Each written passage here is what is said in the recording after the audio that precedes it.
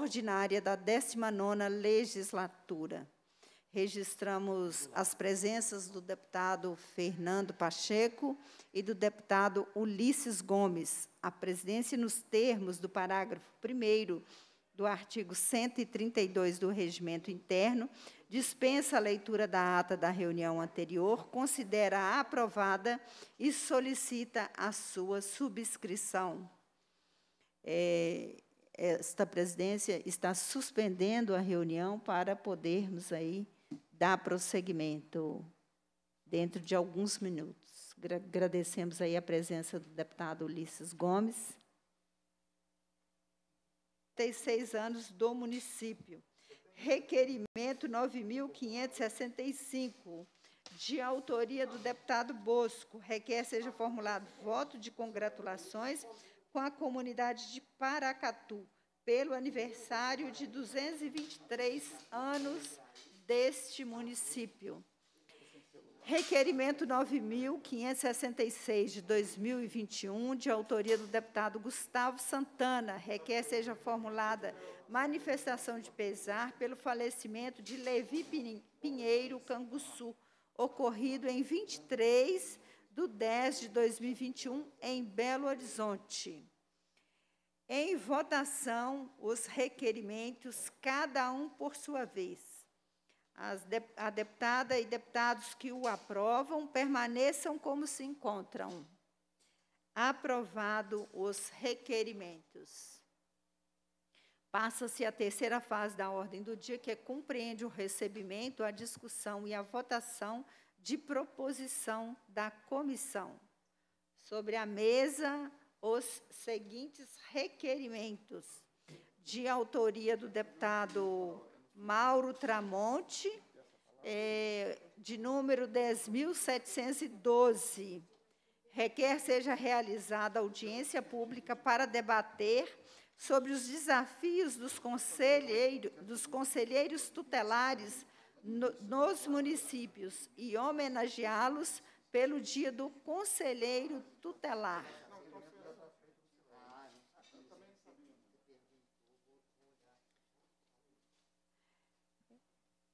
é, esse requerimento, nós poderemos aqui, como são três requerimentos, podemos votar cada um por sua vez. Sim. É, em votação, o requerimento. Os deputados que o aprovam permaneçam como se encontram. Aprovado o requerimento. Requerimento 10.719, de autoria do deputado Fernando Pacheco. Gostaria aqui de passar para o deputado Fernando Pacheco a oportunidade, que são dois requerimentos de Vossa Excelência, deputado. Perfeitamente. Bom dia, presidenta. Bom dia, doutor Paulo, consultores e todos que estão nos assistindo. É, presidenta Rosângela Reis, é uma questão de suma importância de dois requerimentos que um tem mais de cinco anos, o outro tem três anos de pedidos. Né? O requerimento trata desses assuntos. E eu vou lê-los, então, se sua Vossa Excelência me permite. É, requerimento em comissão número 10.719-2021. Excelentíssimo senhor presidente da, presidente da senhora presidente da Comissão de Assuntos Municipais e Regionalização, o deputado que este subscreve requer de Vossa Excelência, nos termos do artigo 103 do Regimento Interno, seja encaminhado ao Departamento de Edificações e Estradas de Rodagem de Minas Gerais, DR, pedido de providência para manutenção em caráter de urgência do trecho da MG 448 entre os municípios de Rio Pomba e Mercês, do quilômetro 134 ao 135, o qual se encontra em péssimo estado de conservação, com a infraestrutura de uma ponte tendo cedido, oferecendo alto risco de acidentes aos usuários na iminência de um desabamento. Requerimento de comissão número 10.749, é, o deputado que este subscreve requer Vossa Excelência também, nos termos do artigo 103, inciso 3, alineado ao regimento interno, seja encaminhado ao Departamento de Edificações de Estradas e Rodagem do Estado de Minas Gerais, o DER, pedido de providência para realizar o serviço de manutenção e conservação da rodovia que dá acesso à cidade de Cataguases, em especial o trecho situado na rodovia MG 120, que desemboca na Avenida Nicolau Sierve, na Vila Minaldo, conforme o mapa em anexo. Cabe ressaltar que este requerimento vem reiterar o requerimento de comissão de 2019. Obrigado, presidente. É, colocaremos aqui em votação o requerimento de número 10.719, de autoria do deputado Fernando Pacheco. É, em votação, o requerimento. Os deputados que o aprovam permaneçam como se encontram. Aprovado o requerimento. Requerimento 10.749, de autoria do deputado Fernando Pacheco. Em votação, o requerimento. Os deputados que o aprovam permaneçam como se encontram. Aprovado o requerimento.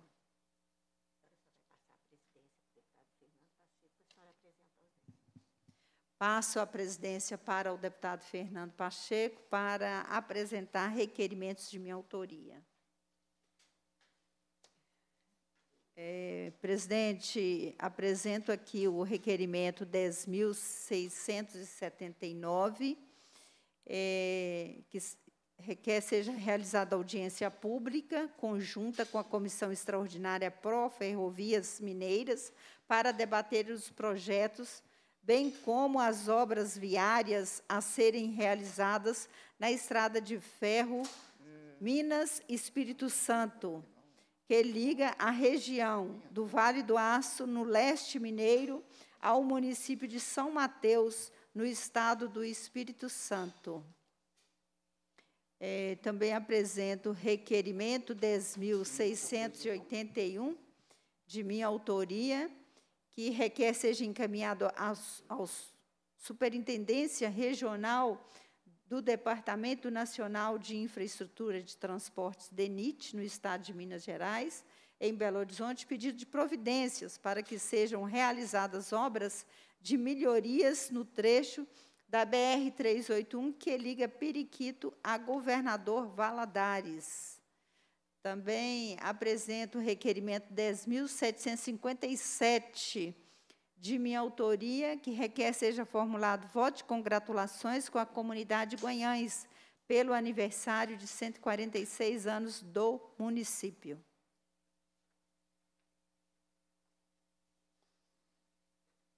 Em votação, cada um, por sua vez, os requerimentos lidos.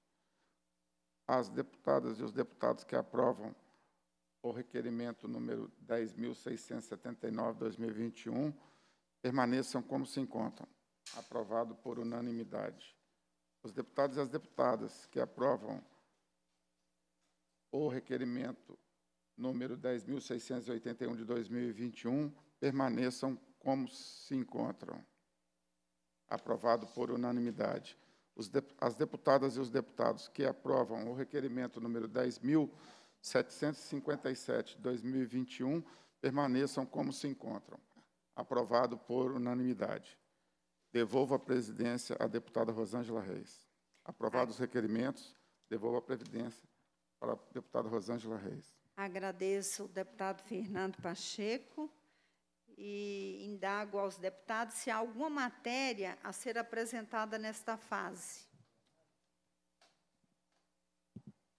Presidente, eu só queria reforçar os requerimentos de minha autoria, que foram votados e aprovados, agradecer ao doutor Paulo e a Vossa Excelência também, que são requerimentos recorrentes, reiterados, vários anos.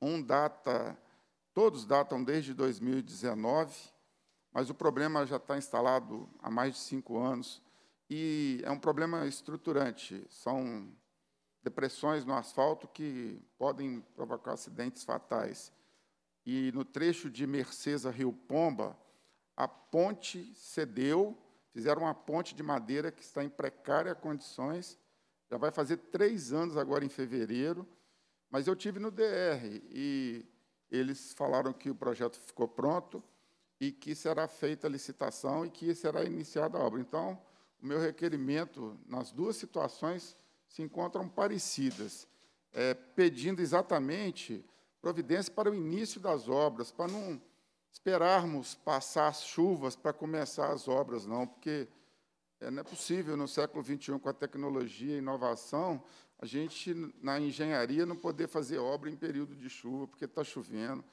E aí passa-se mais um tempo, acontecem outros problemas e a obra vai se arrastando e não inicia.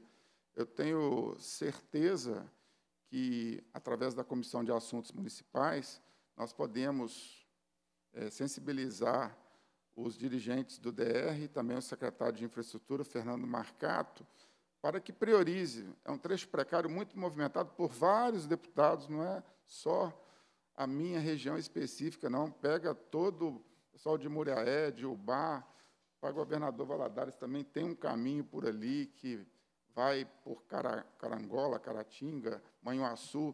Então, tudo isso já está se arrastando há muitos anos. A gente não aguenta mais esperar e pessoas podem vir assim sofrer acidentes fatais por causa dos, das duas situações que estão muito precárias. Inclusive, caminhei com várias fotos. Para antes era o projeto, agora o projeto foi feito. A gente quer celeridade para a licitação e para o início da obra também. Então, essa é a importante missão que eu venho trazer aqui hoje na comissão, para nós não deixarmos de exercitar nossa função, né, de fiscal e de também é, usuário dos serviços públicos que são direitos né, de todos os cidadãos. Então, quero agradecer o espaço permitido, agradecer os deputados que votaram a favor e pedir ao governo estadual, através da Secretaria de Infraestrutura, IDR, as obras possam começar o quanto antes, que não tenhamos a preocupação com as chuvas, não, porque temos condições de fazer obras com chuvas também. Muito obrigado, presidente. Deputado Fernando Pacheco, eu quero usar esse tempo aqui também para te parabenizar, parabenizar Vossa Excelência pelo brilhante trabalho que vem realizando frente ao Legislativo Mineiro. Conheço muito a sua atuação, a esta comissão também, e quero deixar a Vossa, Vossa Excelência que conte com o trabalho desta comissão para que nós possamos fazer esta interlocução e dar celeridade a esse pleito de Vossa Excelência, que é tão legítimo para a nossa sociedade mineira. Nós estamos realmente num tempo chuvoso, está acontecendo algumas catástrofes, mas nós sabemos aí que essa demanda e esse pleito, ele é importante e pode até piorar nesse período chuvoso. Então, que nós possamos aqui, como Vossa Excelência disse, né, que cumprir a nossa é, função como fiscal do povo e de também cobrar do governo do Estado, do DR, ações mais imediatas e urgentes para podermos aí dar solução para a sociedade. Né? Tenho certeza aí que o trecho ele é importante, Vossa Excelência tem trazido assuntos importantíssimos da região, então nós estamos aqui somando e fazendo coro com Vossa Excelência, tá? para nós podermos aí cobrar realmente e que aconteça o mais rápido possível.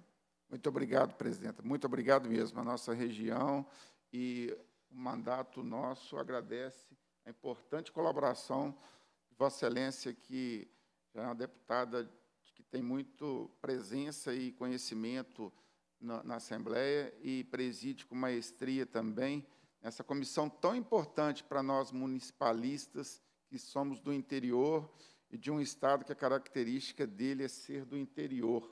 E ainda bem, né? porque não somos picados pela é, contaminação de confusões urbanas e situações, às vezes, que mudam a característica e a cultura de um povo. Então, a gente tem que preservar, eu defendo essa bandeira e quero muito agradecer esse espaço, essa oportunidade e o apoio de Vossa Excelência. Muito obrigado, presidenta. Doutor Paulo. Sim, eu também gostaria, presidente, de fazer coro aqui ao colega deputado Fernando Pacheco, ele citou a questão das chuvas.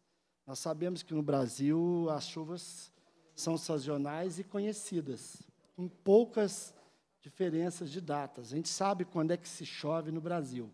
especialmente em Minas Gerais. Eu vejo que essa questão de que a chuva não dá para mexer, pode até não dar, mas dá para fazer uma programação para se trabalhar fora do período chuvoso, que é conhecido por todos nós quais são as datas. E, principalmente, eu observo que as regionais do DR, elas são representativas do ponto de vista de regional, porém, do ponto de vista de recursos, elas não, elas não são representativas.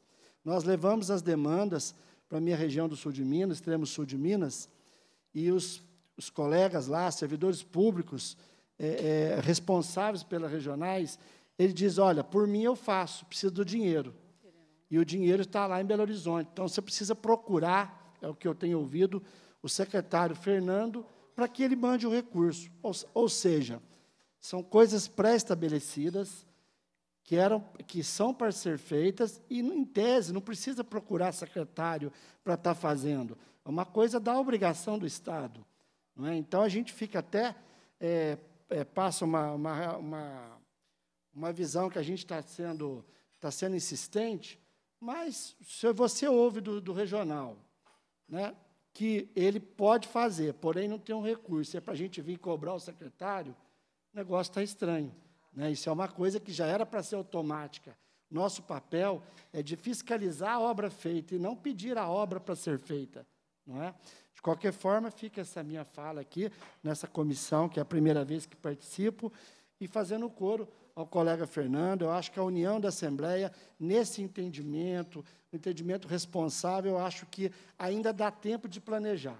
Nós estamos aí no final do, do mandato do nosso governador, mas acredito que dá tempo de planejar e fazer aí um, um, um trabalho realmente para melhorar as vias do nosso estado, que sabemos que a nossa malha rodoviária é enorme, é continental praticamente, e que não temos ainda é, o devido cuidado com ela e de fundamental importância para a vida humana. Nós sabemos o índice de acidente no nosso estado. Muito obrigado, presidente. Agradecemos as considerações importantes aqui trazidas pelo deputado doutor Paulo, sempre bem-vindo a esta comissão e convido o senhor que participe mais vezes. Tá? Estamos à disposição. Cumprida a finalidade da reunião, a presidência agradece a presença dos parlamentares, convoca os membros para a próxima reunião extraordinária do dia 17 de 11 de 2021, às 10 horas, para debater a efetividade do programa habitacional aplicado pelo governo federal e por demais órgãos vinculados aos munícipes de Ituiutaba, nos bairros Nova Ituiutaba 2 e Nova Ituiutaba 4, além de outros bairros nos quais não foi entregue efetivamente a posse dos imóveis, que estão em estado de abandono e depreciação há mais de cinco anos, determina a lavratura da ata e encerra os trabalhos. Obrigada, deputado.